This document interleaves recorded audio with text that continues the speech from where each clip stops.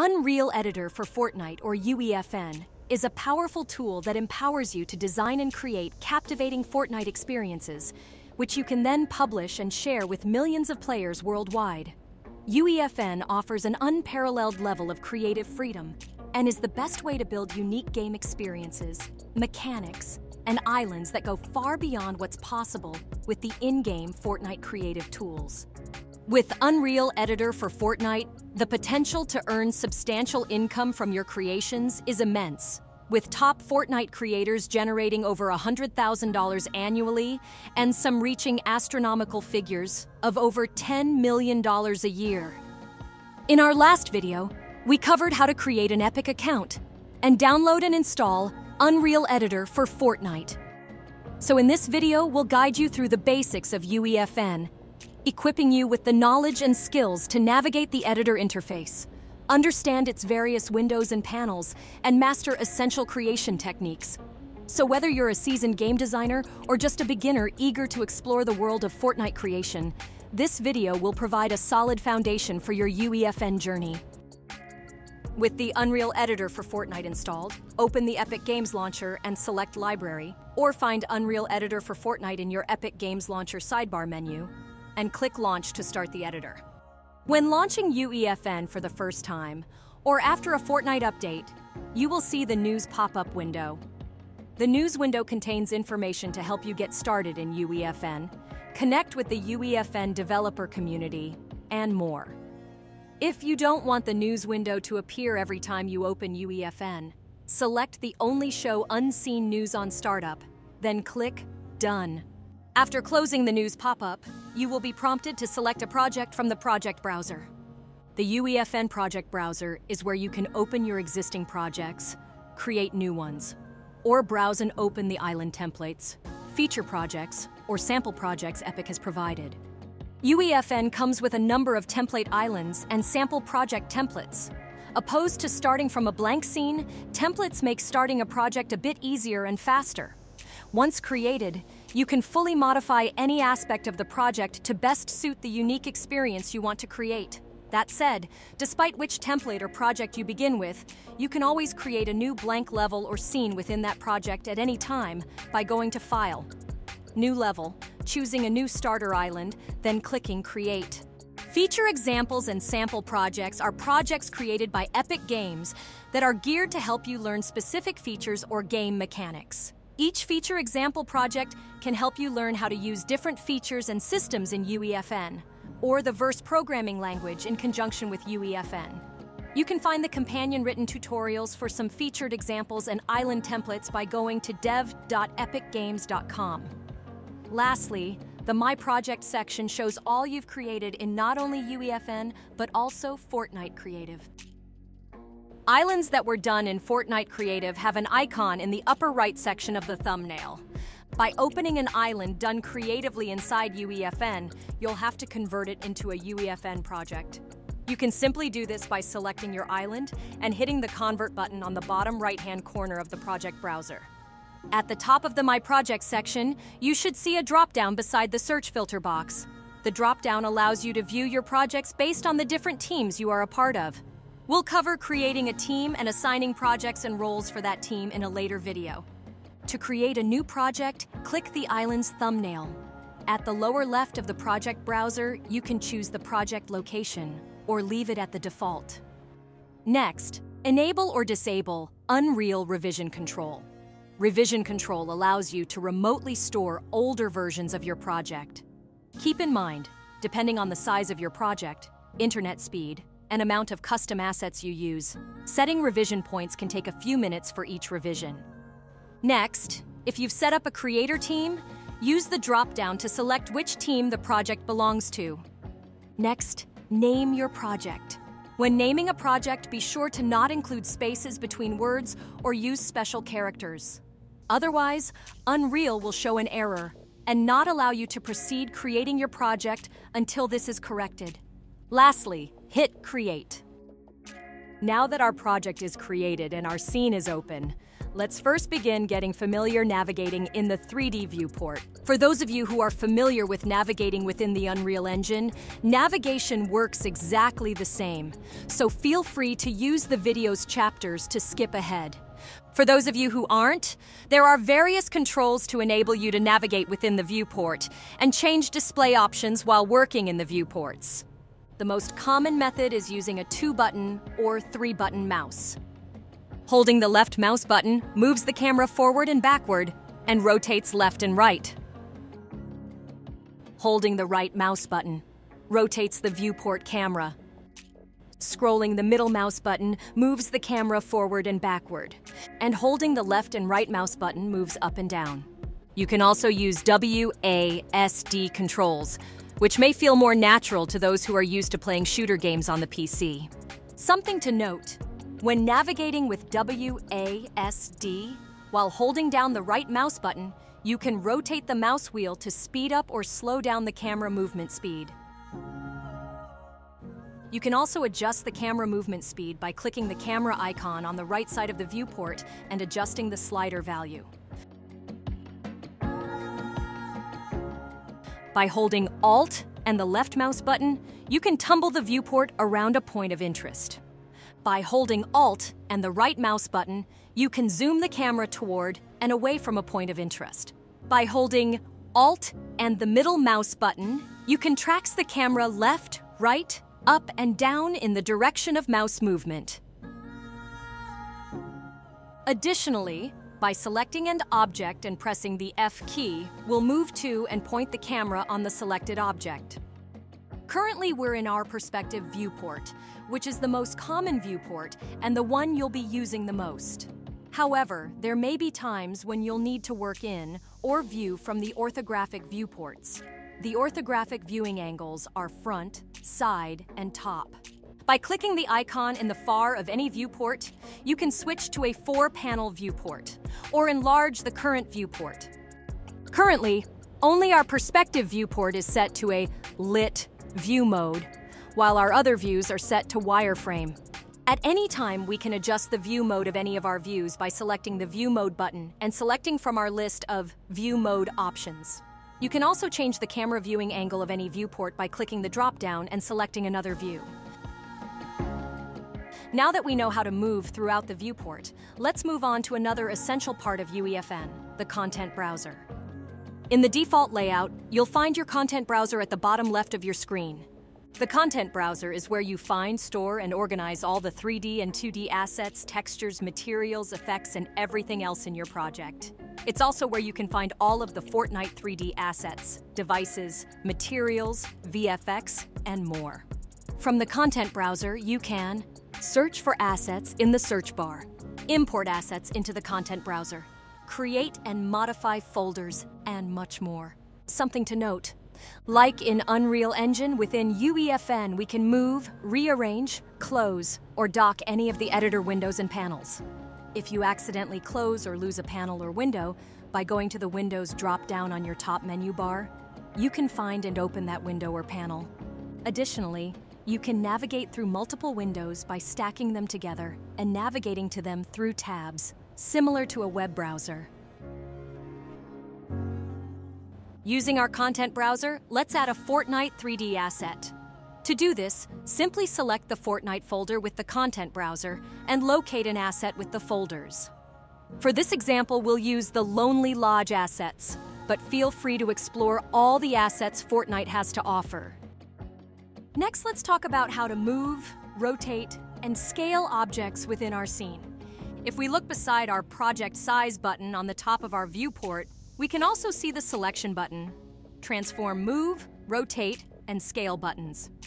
If we select an object with our Transform Move button selected, we'll see the Move Transform widget controls now on the pivot point of the object. By clicking and dragging on the center position of the widget, we can freely position our object in any direction. Alternatively, by selecting the blue, green, or red arrow, we'll only move our object in that axis. If we press the Transform Rotation button, it will change into the Rotation Transform widget, and pressing the Scale key will change it to the Scale Transform widget. Alternatively, pressing the W key will enable the Move Transform, The E key will enable rotation, the IR key will enable scale, and the Q key will enable selection. By default, the rotation and scale are all set to snap to a value, while the move transform is set to snap to a grid unit value. Grid snapping objects to a grid is a fast way to place assets, such as walls, alongside each other without gaps or spaces in between them. That being said, snapping can be adjusted or turned off for the movement, rotation, and scale at any time by simply clicking the button or adjusted within the dropdown. Something to note, the snapping for Fortnite building blueprint objects, such as architectural elements, is a bit different from blueprint props and static meshes. Instead of using the displayed snapping grid unit size to snap to, it uses a universal Fortnite asset grid size. This is why, despite lowering your snapping grid unit size, Fortnite building props such as walls, floor, and stairs will still snap to at the same grid size. If you make a mistake while placing objects, or at any point within your project, you can undo a set number of previous actions. You can find the Undo button in the Edit dropdown. Or you can simply use the hotkey, Control Z. To redo an action you've undone, hit the Redo button in the Edit dropdown. Or you can simply use the hotkey, Control Y. You can also find a history of your past actions within Undo History in the Edit dropdown. Using the Undo History, you can quickly jump to the point you'd like to return to, opposed to undoing every action one by one. Another essential piece of knowledge is how to create an instance or duplicate assets in your scene. Duplicating assets is a great way to save on memory and system resources. UEFN allows us to duplicate assets in our scene in a number of ways. The easiest and most common method is to select an object or object, hold Alt, then move or rotate the object to create an instance. Alternatively, selecting an object and pressing Ctrl D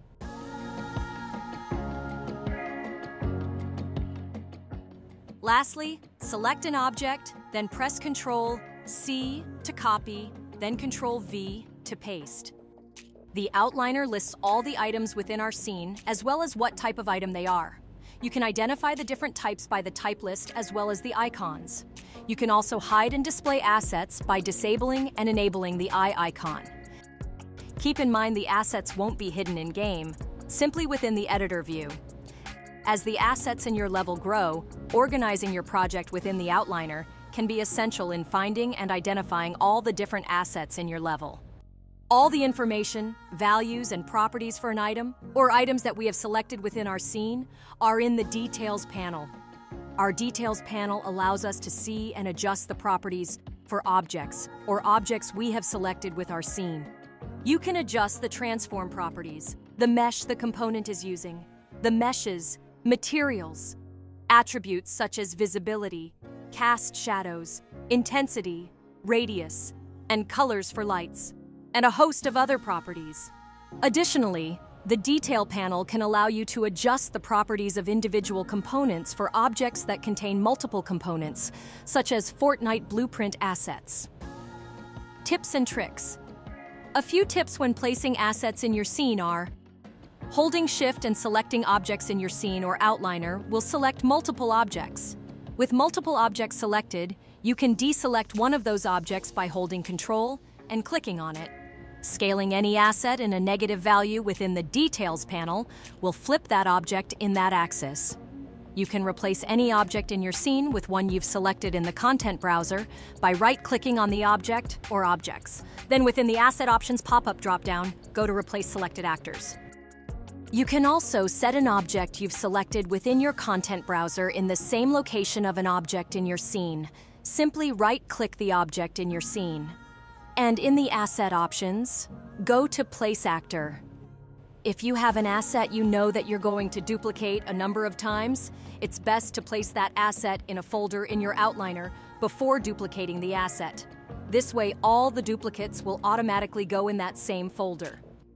To create a folder in the outliner, right-click an empty space in the outliner and within the hierarchy pop-up, select Create Folder. A fast way to select a group of objects is, after placing them in a folder in the outliner, right-click the folder, and in the pop-up drop-down, go to Select and click All Descendants. This will select every asset within the folder and allow you to move, rotate, or scale them all together. Parenting assets is another good way to move, rotate, or scale multiple assets all at once.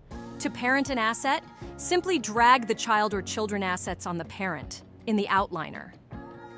Something to note simply selecting a parent object and duplicating or copying and pasting it will not duplicate the child assets also.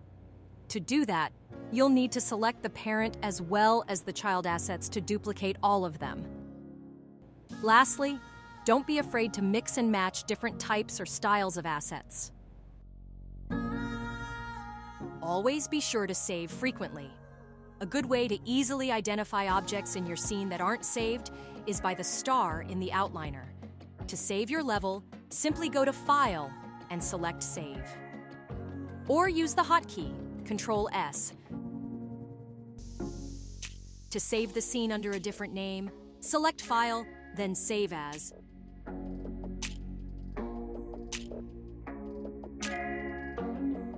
All of the levels in your project save to the content browser. From the content browser, you can switch between levels or scenes in your project by double-clicking the level you want to open. If at any time your editor begins to run slowly due to your scene size, amount of RAM, or graphics card, you can do one of three things individually or in combination to fix it. First, disable real-time rendering and lighting updates. You can do this by clicking the three-line button on the far left of the viewport, then select Disable Real-Time.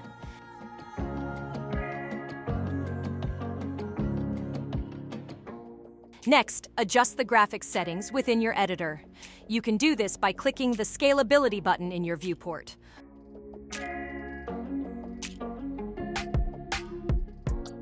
Or adjusting the scalability in Settings. If at that point the editor is still performing poorly. Set your view mode to unlit within your viewport. You can play through or play test your level at any time by pressing the Launch Session button.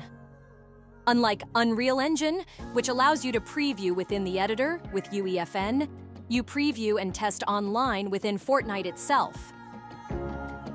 Once connected, you can simultaneously edit your level within UEFN and using the in-game creative tool. Congratulations!